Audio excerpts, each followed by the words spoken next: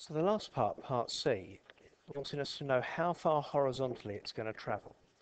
Well, we do know that it travels two meters on the table.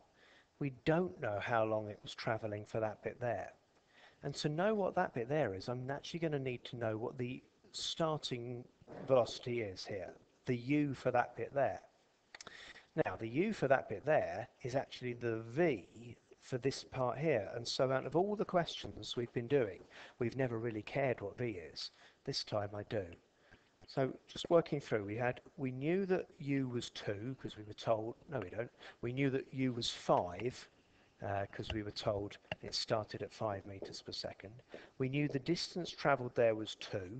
Uh, we, we knew the time taken for that bit there was 0.505. We even knew what the acceleration was there. It was minus 4.1201, wasn't it? Let's use v equals u plus at, shall we? That's probably the nicest one. So the v that we want is equal to 5 minus 4.1201 times by the time was 0.505.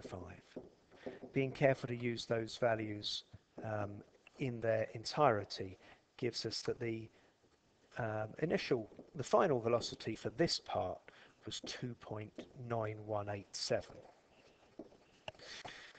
Now, that's the final velocity for this part, but it's the initial velocity for this part here. And as we're ignoring air resistance or anything like that, this distance here is just that speed, 2.91, times by how long that part of the journey was. Now that was done earlier in part A, which was 0.49, uh, what was it, 495 seconds, wasn't it?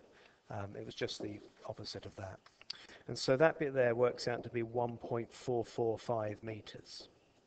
The grand total journey is the 2 meters here plus that bit there. And so I've got 3.45 meters to three significant figures.